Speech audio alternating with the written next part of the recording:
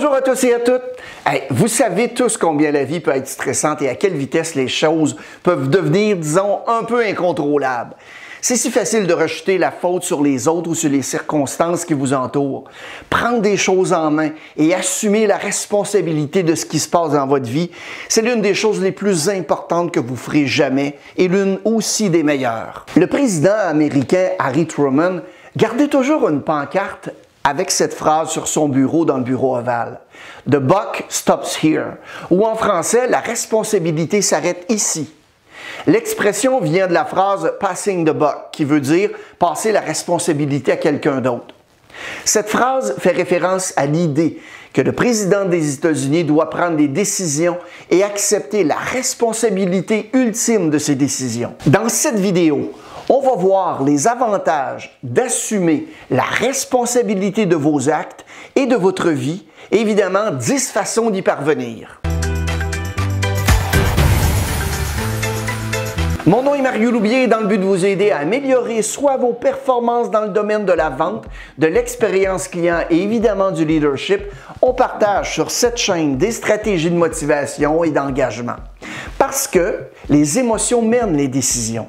Vous pouvez aussi vous abonner à notre chaîne et obtenir gratuitement au moins une vidéo par semaine. Pour les entreprises, on est accrédité Emploi Québec dans le cadre de la loi sur la formation. Les détails se trouvent au bas dans la fiche description.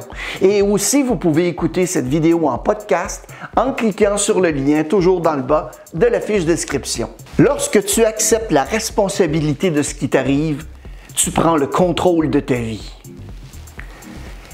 Plus d'une reprise, le président Truman a fait référence à l'enseigne du bureau dont on a parlé en introduction dans des déclarations publiques. Par exemple, dans un discours prononcé au Collège national de guerre, le 19 décembre 1952, M. Truman a déclaré Vous savez, c'est facile pour le corps arrière le lundi matin de dire ce que l'entraîneur aurait dû faire une fois le match de football terminé. Mais quand la décision est devant vous, la décision doit être prise. Sur mon bureau, j'ai une devise qui dit The buck stops here. Quand vous êtes maître de ce qui se passe dans votre vie, vous pouvez vraiment commencer à façonner de plus belle façon votre avenir. Ça signifie essentiellement que vous devez reconnaître le rôle que vous allez jouer dans votre propre vie avec les bons et les mauvais côtés. Plutôt que de chercher quelqu'un ou quelque chose d'autre à blâmer, vous devez accepter que vous êtes responsable de ce qui se passe. Évidemment, il y a d'autres personnes, il y a d'autres facteurs qui peuvent avoir une influence.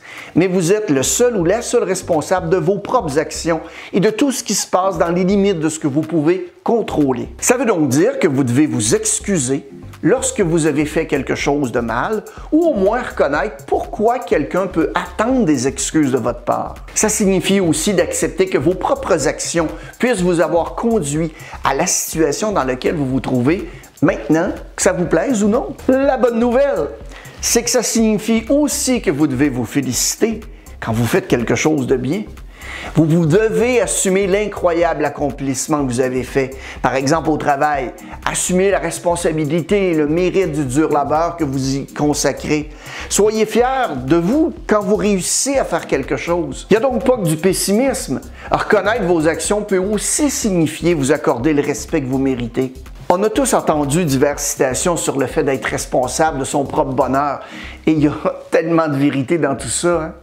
En vous engageant et en acceptant que vos actions aient des conséquences, vous pouvez trouver des moyens de rendre ces conséquences beaucoup plus positives. Quand vous réalisez que vous êtes responsable de votre propre vie, il sera beaucoup plus facile de commencer à créer et à maintenir votre propre bonheur. La responsabilité est essentielle pour avoir de bonnes relations avec les gens qui vous entourent ainsi qu'avec vous-même. Les collègues, par exemple, ils ne veulent pas travailler aux côtés de quelqu'un qui n'est pas en mesure, par exemple, de, recevoir des commentaires constructifs.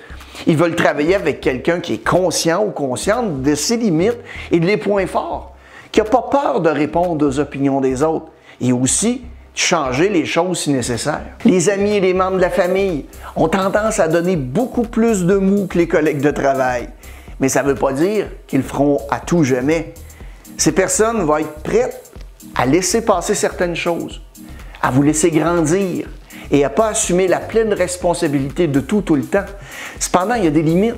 À un moment donné, les proches que vous aimez dans votre vie, mais aussi les collègues de travail, vont s'attendre à ce que vous preniez les choses en main et à ce que vous leur rendiez des comptes. Et de toute façon, plus vous essaierez de blâmer tout ce qui vous entoure, plus on vous percevra comme une victime et plus on vous fuira. Assumer la responsabilité de sa vie, c'est aussi assumer la responsabilité de son pouvoir de penser, de sentir, de parler et d'agir, parce que c'est la structure de toute expérience humaine.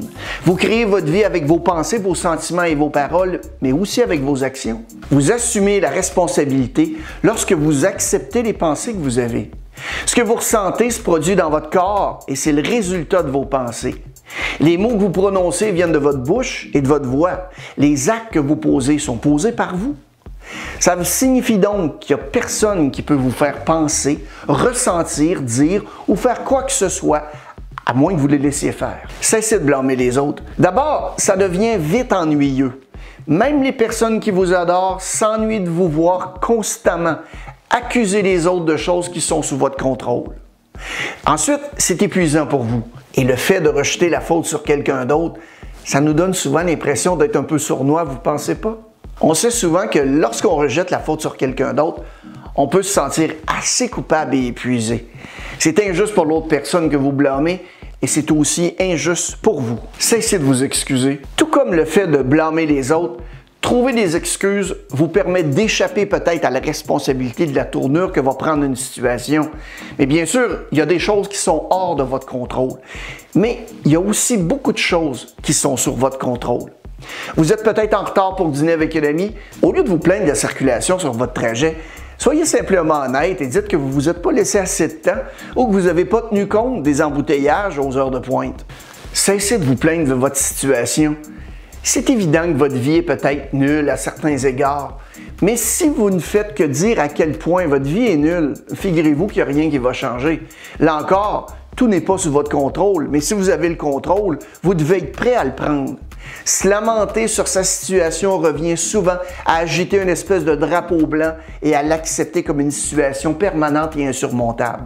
Vous avez beaucoup plus de pouvoir que vous pouvez penser. Respectez ses promesses et ses engagements. Est-ce que vous avez déjà dit que vous feriez quelque chose, alors faites-le? Soyez quelqu'un qui tient ses paroles et dont les promesses ont un sens.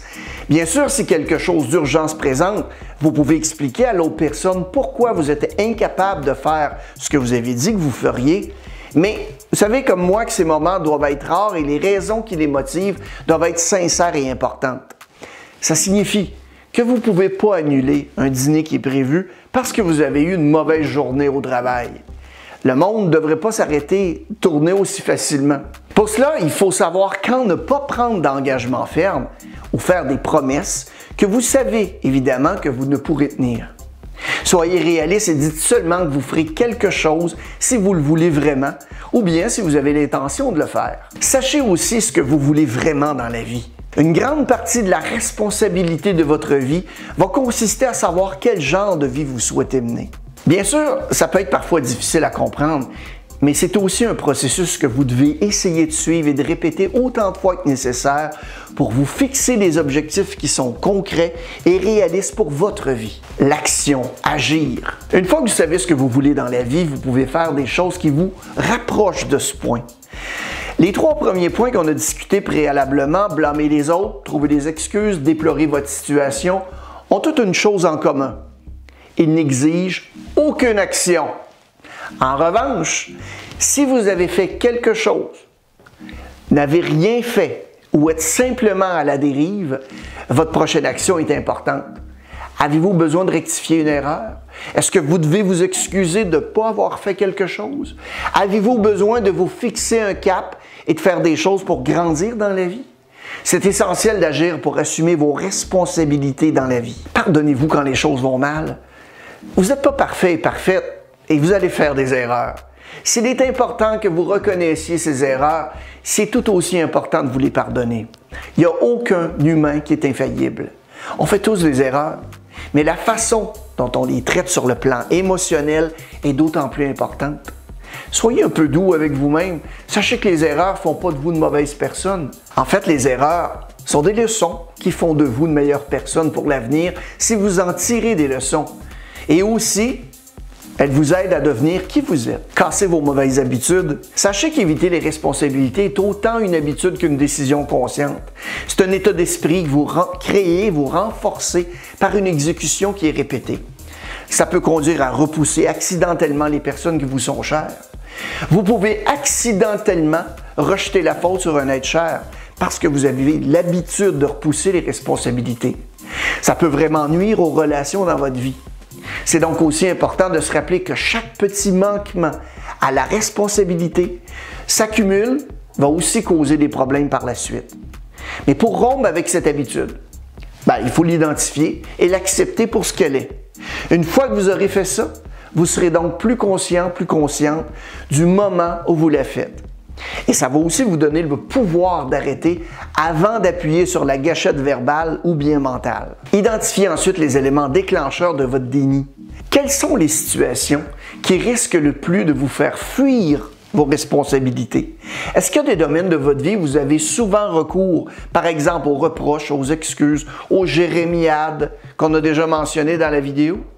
Si vous pouvez identifier les situations dans lesquelles vous refusez d'être tenu responsable de vos actes, eh bien, vous pouvez trouver des moyens d'y réfléchir différemment.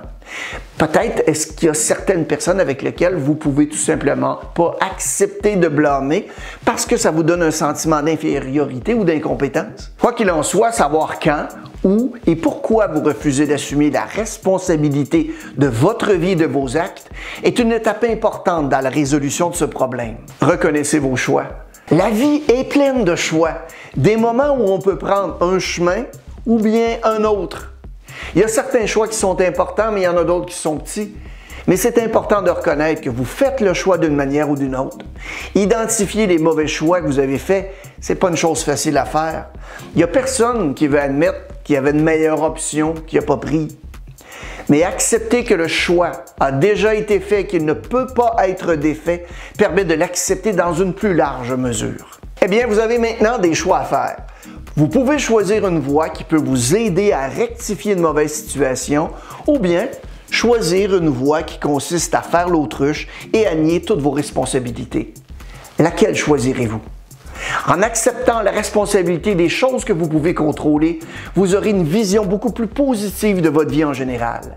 Et en évitant de prendre des responsabilités, on peut se sentir frustré et plus qu'un peu coupable. Donc, en reconnaissant ce qu'on fait, on peut donc faire disparaître ces émotions, ces sentiments négatifs. Cette attitude positive et proactive va vous permettre de vous sentir beaucoup mieux dans d'autres aspects de votre vie également. En prenant de meilleures habitudes, ben, vous allez vous forger un meilleur état d'esprit. Vous vous sentirez bien dans votre peau et beaucoup plus confiant dans ce que vous faites, ce qui va vous permettre d'obtenir de bien meilleurs résultats par rapport à une situation qui peut, soit-on-le, être gagnant-gagnant. En étant responsable, vous montrez que vous avez du respect pour vous-même et pour les autres. Ça peut vraiment vous aider à améliorer vos relations au travail ainsi qu'avec votre famille, vos amis et votre partenaire. Vous tirez un grand profit de votre comportement. Évidemment, vous gagnerez le respect des autres en cours de route. Évidemment, ça peut sembler assez effrayant et intimidant au début, mais vous serez surpris de la rapidité avec laquelle votre état d'esprit et votre comportement vont changer. Nous ne disons pas que vous devez soudainement vous excuser pour tout et vous sentir constamment coupable et opprimé. Acceptez simplement le fait que vous êtes humain et que vous ne serez jamais parfait à vos propres yeux. En reconnaissant ce que vous faites et comment vous vous comportez, vous pouvez commencer à améliorer votre vie. Acceptez-vous pour ce que vous êtes et trouvez des moyens de vous sentir mieux en cours de route. Vraiment, qu'est-ce qui vous en empêche? Maintenant que vous avez vu la vidéo, que ferez-vous de différent? Passez à l'action et faites-moi signe. Merci pour votre écoute.